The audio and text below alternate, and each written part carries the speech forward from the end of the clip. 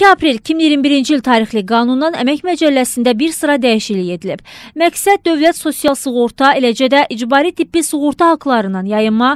əmək proseslərində mülki hüquqi müqavilələrdən sui-istifadə etmə hallarının qarşısını almaqdır. Dəyişikliyə əsasən əmək münasibətlərinin əmək müqavilələri ilə rəsmiləşdirilməsi əmək məcəlləsinin prinsiplərindən biri kimi müəyyən edilir və əmək müqavilələrinin bağlanması vacibdir. Müqavilənin məzmununda əmək məcəlləsinin 43-cü maddəsinin ikinci hissəsində göstərilmiş e, məlumatlar nəzərdə tutulduqda müqavilənin forması Əmək Məcəlləsinin 44-cü maddəsinin ikinci hissəsinə uyğun olaraq e, nümunəvi formaya uyğun bağlandıqda. Eyni zamanda e, tərəflər arasında münasibətlərin rəsmiləşdirilməsi üçün əmək kitabçası təqdim edildikdə Tərəflər arasında münasibətlərin e, rəsmiləşdirilməsi zamanı işçinin əsas vəzifələrinin müəyyən edilməsi, e, işçinin əmək müqaviləsinə xitam verilməsi zamanı e, əmək məzuniyyətinə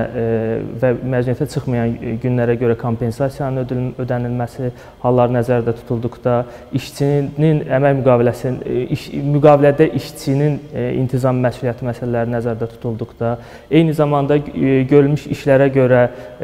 əmək məcəlləsinin 157-ci maddəsinin tələblərinə uyğun olaraq əsas vəzifə maaşı, əlavələr və mükafatlar nəzərdə tutulduqda əmək müqavilələrinin bağlanması vacibdir. Qeyd edilən hallarda əmək müqavilələrinin rəsmiləşdirilməməsi məsuliyyətə səbəb olacaq. Vergi Məcəlləsinin 58.10-cu maddəsinə əsasən əmək müqaviləsi hüquqi qüvvəyə minmədən işə götürən tərəfindən fiziki şəxslərin hər hansı işlərin yerinə yetirilməsinə cəlb edilməsi yolu ilə onların gəlirlərinin gizlədilməsinə şərait yaradıldığına görə işə götürənə hər bir belə şəxs üzrə təqvim ili ərzində belə hala birinci dəfə yol verdikdə 2000 manat, ikinci dəfə yol verdikdə 4000 manat, 3 və daha çox dəfə yol verdikdə 6000 manat məbləğində maliyyə sanksiyası tətbiq edilir.